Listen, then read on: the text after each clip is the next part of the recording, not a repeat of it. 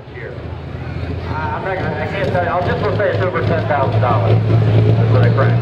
I don't know if his wife knows that or not. Henry Everman, Final Decision International. It's a new setup. Let's find out how it runs.